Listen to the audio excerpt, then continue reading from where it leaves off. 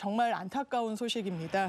전남 완도에서 길고양이 수십 마리가 원인 모를 떼죽음을 당해 경찰이 조사에 나섰습니다. 네, 무슨 상황인지 자세히 좀 들어보겠습니다. 네, 지난달 19일부터 완도의 한 고양이 급식소 인근에서 고양이 사체가 잇따라 발견되기 시작했습니다.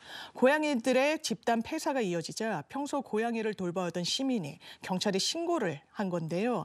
전국 길고양이 보호단체 연합에 따르면 지금까지 완도에서 폐사한 것으로 추정되는 길고양이 수는 모두 38마리입니다. 어, 주변에 서식하고 있는 길고양이가 대략 50마리 정도이기 때문에 절반이 넘게 숨, 숨진 수치입니다. 음. 어. 집단 폐사의 원인은 아직 밝혀지지 않은 겁니까? 네, 구체적인 사인은 아직까지는 밝혀지진 않았습니다. 그런데 쓰러진 고양이를 최초로 발견한 A 씨에 따르면요, 당시 고양이들 하반신 마비 그리고 구토 흔적이 있었다고 합니다.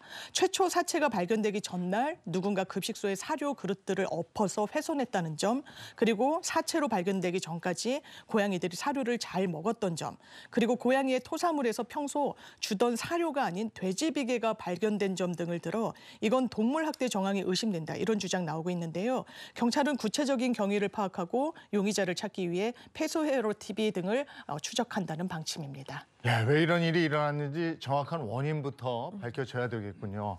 다음 이슈 전해 주십시오.